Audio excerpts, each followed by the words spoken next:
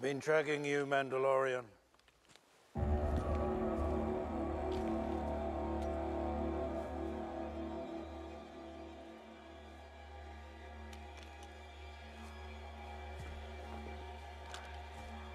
Are you Jedi?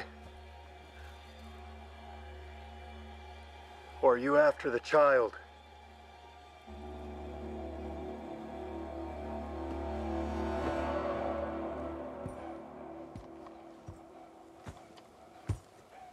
I'm here for the armor. If you want my armor, you'll have to peel it off my dead body. I don't want your armor. I want my armor. That you got from Cobb Vanth back on Tatooine.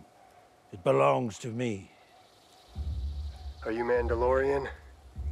I'm a simple man making his way through the galaxy. Like my father before me. Did you take the Creed? I give my allegiance to no one. The Beskar belongs to the Mandalorians. It was looted from us during the Purge. The armor was my father's. Now it's mine. What's to stop me from dropping you right where you stand? Because I have a sharpshooter up on that ridge. With a lock scope that will unload by the time my body hits the ground.